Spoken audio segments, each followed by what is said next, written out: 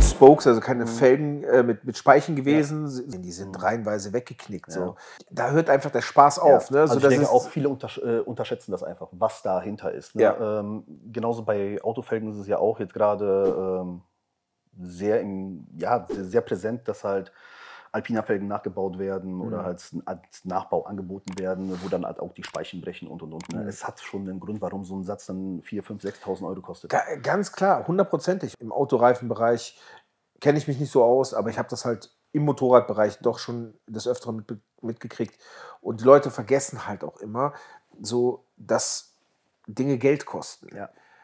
Die wollen günstig, günstig, günstig, aber gewisse Sachen kann man nicht günstiger machen, als sie sind. Ja? Und, und es sind ja vom Material her, was Geld kostet, über die über das Gutachten, was du erstellen musst, Ja. was Geld kostet, über die Produktion, die Geld kostet, und dann hast du noch einen Zwischenhändler dazwischen und dann hast du den Customizer dazwischen. Und wenn dann Leute kommen und sagen so, ähm, ah ja, Big Spokes äh, habe ich gesehen, kosten 300 Euro, dann Ja. ja, was erwartest du denn dafür? Ja. Was für ein Produkt kannst du für dieses Geld erwarten? Ähm, gar nichts, weil die Leute, das ist, das ist wie mit Fleisch im Übrigen, genau das gleiche, ja. Hähnchenfleisch, wenn ich, oder Schweinefleisch, wenn ich für 4,99 das Kilo Schweinefleisch irgendwas einkaufe, was soll denn da an dem wie dran sein? Also, ne, was für ein Leben soll das Schwein gehabt haben? Äh, wer soll daran verdient haben? Das ist das Gleiche hierbei. Da fehlt, glaube ich, ein Stück weit das Bewusstsein in der Bevölkerung für das, was was wert ist.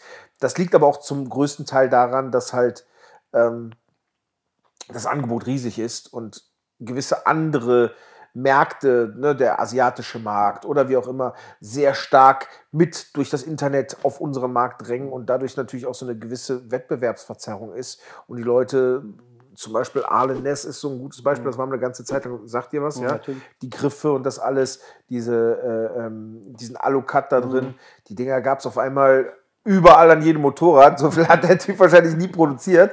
Und äh, äh, die, ich weiß gar nicht mehr, was, was Originale kosten, äh, weil ich weiß gar nicht so ge- gerne verbaut habe. Aber ich weiß, was die bei Wish und AliExpress gekostet haben. Aber du hast es halt gemerkt. Ne? Äh, einmal feste zugegriffen, haben die Dinger sich verbogen. So. Ja. Der Punkt ist aber auch, guck mal, die Leute haben kein Problem loszugehen und für eine, weiß nicht, eine, eine, jetzt darf man natürlich wieder keine Marken nennen. Obwohl, nee, wir sind ja nicht bei Funk. Also Nö, kannst machen. Also jetzt, so, keine Ahnung, gehen los und kaufen sich eine Armani, Hugo Boss, Diesel, was auch immer, Uhr für 300, 400, 500, 600 Euro, ja, was im Endeffekt China-Müll ist, Ja. weil du zahlst ja nur für den Namen auf der Uhr. Ähm, da haben sie kein Problem mit. Sie gehen los und kaufen sich eine, irgendwelche Designerjacken für 1000 Euro, haben sie auch kein Problem mit. Aber wenn es dann darum geht, äh, für eine Felge 1200, 1500 Euro zu bezahlen, dann ist es auch immer teuer. Also das ist für mich dann einfach nur lächerlich. Das, das, ist, das ist der Punkt. Jetzt muss ich, den, jetzt, ich muss ganz kurz den Übergang wieder finden, weil ich könnte über das Thema so stundenlang diskutieren. Ähm, aber dafür sind wir ja gar nicht hier. Wir sind ja dafür da, weil du eben so ähm, viral gehst gerade mit deinem äh, Account. Ähm, und ganz viele Leute mich auch äh, angeschrieben haben, gesagt haben, ey, wann kommt eigentlich der King Kuni mal zu dir? Danke. Ähm, und da muss ich sagen, ähm, du hast jetzt mittlerweile 16.000, 17.000, ich will da ja nicht falsch liegen. Irgendwann 17. 17.000. Ähm, ich weiß aber, dass du kein Freund davon bist, weil du natürlich auch, wir hatten ja schon mal gesprochen, du löscht regelmäßig Ja. Leute, weil du halt selber merkst, dass auch sehr viele Bots und, Ja. und Schrott da drauf kommen. Ne? Ich muss äh, zugeben, ich habe es mittlerweile echt aufgehört, weil du kommst nicht hinterher. Mhm. Äh, und Instagram stellt dir selbst schon Steine in den Weg, weil äh, ich gehe dann da rein und gehe mir auf das Profil, ne, wenn ich dann halt die Zeit habe und gucke mir an, so, so, wer folgt dir da jetzt? Was sind das für Leute, die jetzt da neu dazugekommen sind? Dann hast du halt Profile, wo du eigentlich direkt von ausgehen kannst, das sind Bots, das sind Fakes, weil wenn der selber irgendwie äh, 5000 Leuten folgt, aber selber irgendwie nur 50 Follower hat und keine Beiträge, dann kannst du dir schon denken, was das für ein Profil ist. Und dann gehst du los und Oder die nackten Frauen, die immer da ja, genau, drauf genau. Nee, und auf jeden Fall, du gehst dann los und fängst an zu löschen, löschen, löschen, löschen, löschen, löschen. Und dann löschst du, keine Ahnung, 150, 200 Leute und auf einmal kommt eine Meldung von Instagram von wegen, ey, wir müssen diese Funktion jetzt aber sperren, ne, weil äh, irgendwas läuft da gerade falsch auf deinem Profil. Und ähm, sagst, okay, gut, dann mache ich halt in einer Stunde weiter. Kommst in einer Stunde rein, hast 500 neue. So, du, du, das ist wie ein Kampf mit Windmühlen, ne? also kommst da gar nicht hinterher. Selbst der, die E-Mail, die ich an Support geschrieben habe, ey Leute, pass mal auf, ihr könnt das so mit Sicherheit irgendwie nachvollziehen, was ein echtes Profil ist, was ein Fake-Profil ist. Bitte löscht mir die weg. Das kann Funktioniert bei Instagram gar nicht. Nein. Also ich habe ein definitives Fake-Profil äh, gemeldet, da kommt dann so eine Nachricht zurück von wegen, wir haben gecheckt, das ist kein Fake-Profil. so, wo, du, wo du weißt ganz genau, ja, Äh, Sei froh, dass du eine Antwort bekommen hast. Ja, das ist ja eine automatisierte, Ja. also da kannst du drauf wetten. Ich, ich sag mal so, klar ist das eine Riesenplattform und die haben auch irgendwann einfach den Überblick, Überblick verloren. Ne? Ähm, ich, ich bin jetzt auch kein riesen Meta-Freund, das muss ich dazu sagen. Ähm, ähm, es ist halt Instagram und auch wenn wir das jetzt für YouTube machen, ähm, ist es Social Media ist ja eine Sache, die während Corona nochmal Fahrt aufgenommen Ja. hat. Definitiv, weil die Leute zu Hause gesessen haben. Ähm, und das fing auch für mich so an. Ähm, hier haben schon viele Leute gesessen, so der Martin von Fat Lady Care, den du ja auch kennst. Ähm, Grüße gehen raus. ja, übrigens auch im Open House, ne? Denkt dran, ist hier mit seinen Produkten. Also, wenn ihr äh, da was haben wollt, am 19.08. mal kurz gedroppt, äh, hier wieder bei äh, uns bei Rock the Bike. Dadurch ist einiges dazugekommen und die Leute haben wieder so ein bisschen Spaß daran gehabt, ne? weil du hattest keinen Urlaub oder keine Möglichkeit, Mhm. irgendwo hinzufahren. Ähm, dann kam ja auch die Harley-Szene dazu. Viele Leute haben sich eine Harley gekauft, weil sie gesagt haben, sowas will ich mit meinem Geld machen. Ich muss ja irgendwo mein Geld ausgeben. Das flaut ja jetzt alles ein bisschen ab. Ähm, worauf ich hinaus wollte, ist einfach, dass, dass trotz der ganzen coolen Sachen natürlich auch sehr viele negative Sachen mitkommen. Ähm, und das merkt man halt immer wieder. Ähm, das vergisst man schon mal ganz gerne. Aber sobald man natürlich anfängt, ähm, Content täglich zu produzieren, und das wäre jetzt auch meine Frage, kommen natürlich auch immer so ein paar Neider, Hater, die dann einem, ähm, ich sag mal, Nachrichten schreiben oder Dinge kommentieren, wo du denkst, so, ist das nötig? Kenne ich dich? Haben wir was? Ja. Hast du das auch? Es geht, es hält sich eigentlich in Grenzen. Also jetzt bei den äh, Reels, die dann halt viral gegangen sind, ne, ähm, also bei dem mit diesem schwarzen Schaf, ne, Ja. äh, kam halt sehr oft halt äh, in den Kommentaren, boah, das ist aber cringe, ne? Ich muss jetzt mal Ja. googeln, was das überhaupt bedeutet. Ne? Das ist halt Jugend, Jugendwort, äh, keine Ahnung, was des Jahres so Wenn so. dein Sohn ein bisschen älter wäre, Ähm, wüsstest du, was cringe Vermutlich, bedeutet. ja. Äh, muss ich jetzt mal gucken, ne? Aber wie gesagt, da schmunzel ich drüber, weil im Endeffekt denke ich mir auch, ey, hör mal, pff, ist mir egal. Ne? Ich kenne dich nicht, ja, mal kannst kommentieren, was du willst. Ne? Und ähm, ja, aber wie gesagt, ich kann wirklich sagen, überwiegend mache ich nur positive Erfahrungen mit äh, Social Media. Und nutzt du Social Media zum Beispiel für deinen Vorteil? Also das heißt, ähm, wie, also ich würde mal sagen, ab 2000 hast du Collab-Anfragen, vielleicht ab 1000 schon collab Ich muss tatsächlich gestehen, ähm, die Collaboration-Anfragen, die kamen, das war echt nur so, so ein Müll da, Schmuck oder irgend so ein Kack da, weißt du, was soll ich damit? Also äh, einfach nur nein, danke und Habe ich, tschüss. Als ich in Dresden war, ich war abends kurz drin, eigentlich wollte ich kein Mhm. Instagram machen, ne, weil der Lukas war ja dabei, der macht das. Da war wieder so eine, das war auch so geil. Wir haben uns dein Profil angeguckt und äh, festgestellt, dass du auf Lack und Leder stehst. Was? Ja? Ähm, und du der genau der richtige Partner für unsere Produkte im Bereich Lack und Leder wärst. Wo ich mir dachte, so, Alter, geil, hast du mein Profil angeguckt? Also ich weiß ja, dass es eine automatisierte, ne, ein Bot ist, aber, aber es ist schon geil, wo, wo du dir wirklich denkst, so, äh, also ich habe in Lack und Leder, egal, also nehmen wir mal Lack weg, selbst Leder. Ich habe, ich glaube, in keinem einzigen Bild, Video, Mhm. sonst was, irgendwas mit Leder zu tun. Ähm, ich glaube, das ich, hatte ich in, Lukas, hatte ich irgendwann mal meine Weste, meine alte Kutte an? Nee, ne? Ich, ich glaube nicht, ne? Also von daher so gar nichts. Aber Ja. sei es drum, äh, ich finde es immer wieder witzig, die, die landen ja dann in diesem ähm, willst du annehmen oder nicht Mhm. annehmen Ordner und dann löscht damit, die halt ja. regelmäßig, ne? So und dann ist gut. Ähm, so viel Dating-Anfragen, wie ich darüber auch bekomme, Am besten aus Amerika, Südamerika und sonstige. am besten finde ich ja immer noch diese, möchtest du eine Comic-Version von deinem Motorrad haben? Das ist auch gut. Diese Das, das ist gut. da, ja. Ich habe das am Anfang habe ich das ernst genommen, weil ähm, ich, ich kann, äh, ich, ich bin kein Social Media Mhm. Die Leute wissen das auch mittlerweile. Ne? Ähm, ich habe am Anfang auch da auf das Profil geklickt und habe tatsächlich mal geantwortet, so, weil ich, ich fand die Idee Mhm. nicht schlecht so ne. Und habe dann gesagt, hör mal, könntet ihr mir vielleicht ein, ein Bild machen? Ich hatte mir das so und so vorgestellt. Ich wollte immer, ich vergleiche mich gerne schon mal mit so ein bisschen so einem Tatebär, so, ich weiß nicht, ob du weißt, ne? Und ich wollte so ein Bild von mir als Bär auf so einem Motorrad haben. Konnte ich nicht umsetzen. Ja, dann haben die irgendwas erzählt und so.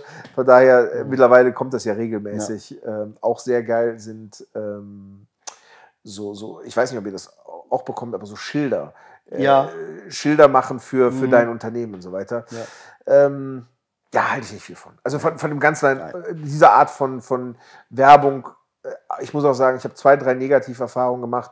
Ich habe tatsächlich mal für eine, eine Handyhülle äh, über Instagram gekauft, die ist nie angekommen, auch Mhm. heute noch nicht. Also ähm, und äh, Diese Anfragen vergleiche ich immer so mit den Leuten, so mit diesen äh, Klinkenputzern. Ne? mh, ne?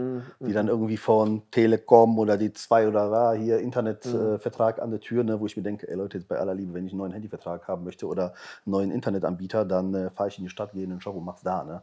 Und äh, genauso verhält es sich mit diesen Anfragen, wenn ich wirklich irgendwie was möchte, äh, im heutigen Zeitalter von äh, Online-Shopping, ein Wort bei Google rein, kommen 5000 ja, Shops, ja. dann kann ich mir aussuchen, machen, tun und dann äh, und wenn du ganz faul, ich die Anfrage. Wenn du ganz faul bist, gehst du zu Amazon, hast ja. du einmal. ja.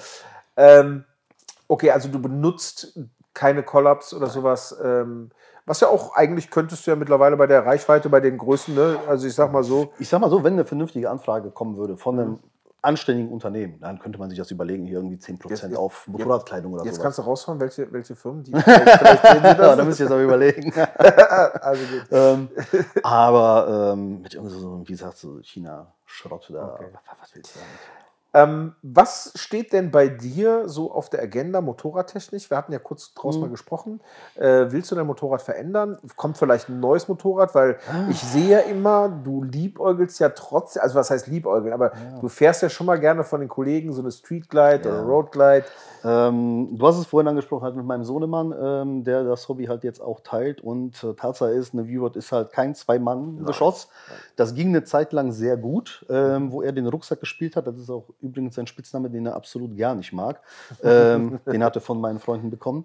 Ähm, und mittlerweile ist es halt wirklich so, äh, es wird schwierig auf ja. dem Gerät. Und aus diesem Grund, klar, natürlich liebäugle ich mit einer Glide. Ähm, Allerdings diesen Schritt zu gehen, die Muscle abzugeben und für das Geld eine Streetlight zu kaufen, nein. Tag heute nein und ich kann es einfach nicht übers Herz bringen. Und selbst meine Frau, die mich eigentlich am besten kennt, hat zu mir gesagt, du machst es, ich gebe dir eine Woche, du wirst der Karre hinterher heulen. No? Davon bin ich sogar überzeugt. Ja. Also ohne dich zu kennen, ähm, das ist ja schon eine besondere Beziehung und eine Roadglide und eine Streetglide würden diese Emotionen niemals teilen. Also ähm, das ist ein geiles Motorrad, mhm. also gerade die Road Glide, die ich früher absolut nicht gemocht mhm. habe. Ähm, jetzt, nachdem ich die ST fahre mhm. und ich mich daran gewöhnt habe, dass der Lenker in der mhm. äh, Fairing äh, läuft, genau, weil ich das, das ich mhm. fand das total suspekt, ja. Als ich das erste Mal Road Glide gefahren bin, äh, habe ich auch der Karina erzählt, ich, ich kann ja nichts nach vorne mhm. sehen. Das ist so, hat mein Gehirn nicht geschaltet mittlerweile in der, in der ST, Lowrider mhm. ST, draufgesetzt und mittlerweile fahre ich das Ding so als oh, easy. Selbst blind in den Ständer, mhm. in, der, in der Garage ist der Ständer, fahre ich hier so rein. Ne? Ähm, aber es ist halt ein geiles Tourenmotorrad, aber es ist keine emotionale Kiste. Ich mhm. weiß ja, wie du, wie du auch so ein bisschen, hast ja erzählt, tickst. Ähm, würdest du denn deine Fireblade zum Beispiel verkaufen? Ja. Das, das, da hängt ja, ja, nicht die Emotion dran. Also der Punkt ist halt, ich bin ein Mensch, mir wird, werden Dinge sehr schnell langweilig. Ja. Das heißt, wenn es Dinge gibt, die lange bei mir bleiben, äh, mhm. wie zum Beispiel meine Frau, also die muss ich ja lieben, weil sie sind ja schon fast 13 Jahre, ähm, die wird es hassen, wenn sie da sind. Nee, aber ähm, wie gesagt, mit jedem anderen Motorrad war es halt so, es war schön, es ist toll und bla bla, aber so einer Zeit, ja, könnte mal was Neues kommen. Ne? Mhm. Und hier ist es halt wirklich jetzt im äh, Oktober werden es vier Jahre sein, dass das Motorrad bei mir ist und ich habe jetzt aktuell etwas über 20.000 Kilometer mit ihr gemacht. Ich gehe immer wieder in die Garage, ich setze mich immer wieder drauf, ich drehe am Hahn und es macht mir immer noch Spaß mhm. und es ist immer noch nicht langweilig. Und das ist etwas, wovor ich halt Angst habe, wenn ich sie abgeben würde. Ähm, und auf etwas anderes umsteige, dann, okay, gut, gefällt mir nicht, verkaufe ich, kaufe ich mir wieder eine V-Rod. Aber das ist dann halt nicht mehr die. Und da sind halt Teile dran, die kriegst du nicht mehr. Wie die Fußrastenanlage von Wunderkind, die gibt es halt einfach nicht mehr. Ja. Und da wird es halt schwierig. Und ich weiß auch ganz genau, das hat der Martin mir nämlich gesagt, sollte ich jemals mit dem Gedanken spielen, meine zu verkaufen, ähm, bitte Fußrastenanlage abbauen und mhm. an ihn schicken. Und ja, ja also, apropos Martin, ist, ist das Gleiche. Ich, ich kann mir so einige Leute nicht mit einem anderen Motorrad vorstellen. Mhm. Ähm, Martin weiß ich ja auch, mhm. ne, liebäugelt mhm. ja selber mit ja. einer anderen Maschine. Geht nicht. Das ist das gleiche bei dir. Äh, das ist ähm, bei so drei, vier anderen Leuten, ähm, wo, ich, wo ich sage, so, das, das sehe ich einfach mhm. nicht. Ne? Ähm, weil es gibt natürlich auch viele Menschen, die wechseln Motorräder mhm. quasi jedes Jahr oder alle zwei Jahre, so wie, wie man das auch manchmal mit mhm. Autos macht. Und das ist auch okay. Aber äh, also wenn ich Insta gucke und Koni auf einer Fireblade sehe, dann ist das schon strange. Und wenn du auf einer Streetlight fährst, finde ich es strange. Mhm. Ähm, ich finde es auf der tatsächlich auf der Muscle am, am, ähm, am sinnvollsten. so passt einfach zu dir. Vielleicht als Zweitmotorrad, aber Absolut, Tausch, nein. Nein. Nein. Das ist halt so der Punkt bei der V-Rod allgemein. Ähm, es ist keine echte Harley im Sinne von diesem Harley fahren. Man kann damit cruisen, Mhm. Aber dafür ist das Ding einfach nicht gemacht. So, die fühlt sich halt wohl über, weit über 6000, ne? also nicht dieses typische halt fünfter Gang, 50 durch die Straße, durch die Stadt lässig ne? und das ist es einfach nicht. Ne? Also wie gesagt, ich fährt ihr jetzt insgesamt runter? insgesamt ist sie jetzt bei 26.000. Du weißt, dass die Köpfe bald runter müssen, ne? Ja. Okay. Nur so zum Sagen. Dann ist vielleicht doch nochmal die Überlegung, weil es nicht ganz so günstig ne? Mm, Ja, gut, aber dann würde ich schon überlegen, wenn, äh, wenn es wirklich so weit sein sollte, dass die Köpfe runter müssen, dann äh, würde ich überlegen, die zu Squad Cycles zu bringen. Zu was? Äh, zu Thomas Koch. Äh, Okay. Ist halt so der Name in der V-Road-Szene. Okay. Und ähm, der bietet dieses äh, Hubraum-Erweiterungskit an von der V-Road Dominator. Die ist ja, ohne Straßenzulassung, dieses reine Dragster-Bike. Mhm. Ähm, der bietet da die Kolben, Nockenwellen und so weiter an. Und ähm, dann Wie viel, wenn eventuell. ich fragen darf? Äh, ich meine, das Set kostet 1800 Euro ohne Arbeit. Okay, ja. Ja. Gut. Hast du denn irgendwas an Touren geplant? Also ich hoffe ja am 19.08., dass du bei Bin mir bist. hier? Ähm, sehr gut. Ähm, aber hast du noch irgendwas an Touren geplant? Hattingen in, in Hattingen bin ich auf jeden Fall dabei. ja. Ähm, fuck, nein. Das äh, fällt dieses Jahr ebenfalls aus. Fahr ich Schade. runter. schade. Ne? Es sind- viele, die irgendwie kurzzeitig absagen. Ähm, ich, ich hoffe, dass das ein gutes Omen für gutes Wetter ist, weil damit ihr euch alle schön ärgert, dass das Wetter nämlich Ja. nicht so beschissen ist wie letztes Jahr. Nee, also wie gesagt, das äh, passt einfach termintechnisch dieses Okay. Jahr nicht. Mhm. Letztes Jahr hat es nicht gepasst. Ich weiß gar nicht mehr, warum ich nicht gefahren bin. Ähm, auf jeden Fall, dieses Jahr passt es terminzeitlich nicht. Und ja, ansonsten mal gucken. Ne? Also ich plane halt mit einem Kollegen ähm, eventuell eine Tour nach Holland noch dieses Jahr. Okay. Und Rest wird sich dann zeigen. Kommen wir zur letzten Frage, weil das natürlich auch so ein bisschen mit in die Community spielt. Fährst du mit einer bekannten Community, beziehungsweise ähm, hast du Leute oder bist du wirklich so ein, so ein Lonely Wolf, Single Driver? Ich mach mein Ding. Eigentlich bin ich mehr so der Mensch, äh, ich mache mein Ding. Also ich Mhm. fahre mit keinen Communities, ähm, außer jetzt vielleicht meiner persönlichen, mit meinem engsten Freundeskreis. Da sind wir dann auch oft mit äh, acht oder zehn Bikes unterwegs. Okay. Ähm, auch mal bunt gemischt, auch mal nur Harleys. Ähm, aber an sich bin ich wirklich so dieser Mensch, der halt äh, alleine mit seinen Gedanken irgendwo hinfährt, abschaltet Mhm. und sein Ding macht. Cool. Koni, ich habe mich sehr gefreut, dass du gekommen bist. Das Ich war ja schon lange, lange, lange geplant. Ähm, Leute, wenn ihr äh, Bock habt, ähm, auch mal hier zu sitzen, ähm, wenn ihr was zu erzählen habt, ähm, dann wisst ihr ja, schreibt uns an. Ähm, oder wenn ihr jemanden kennt, von dem ihr unbedingt mal was wissen wollt, ähm, da stehen noch ein paar auf der Agenda, muss ich fairerweise zugeben. Nur dadurch, dass wir das Open House vor der Tür haben und Clash of Customizers noch machen und gleichzeitig natürlich auch ein bisschen was arbeiten müssen, um Geld zu verdienen, ähm, können wir nicht alle äh, Interviews äh, so immer wahrnehmen. Das hat heute echt ganz gut gepasst. Vor allem mit dem Wetter. Vor allem mit dem Wetter, äh, äh, ist ja mit dem Moped hier. Da seht ihr auch gleich noch ein paar Sachen. Ähm, ansonsten würde ich mich natürlich freuen, wenn euch das Video gefallen hat, wenn ihr den Kanal abonniert, den Daumen oben lasst und die Klingel, äh, die Glocke bimmelt. Das ist immer das Letzte. Also, warum sie das eingeführt haben, zwei hätten doch gereicht, weißt du? An sich schon, Abonnieren und Daumen oben. Äh, aber damit ihr nichts mehr verpasst, äh, gerne die Glocke aktivieren. Und ähm, danke, dass du da warst. Ich danke. Bis zum nächsten Mal. Rock the Bike.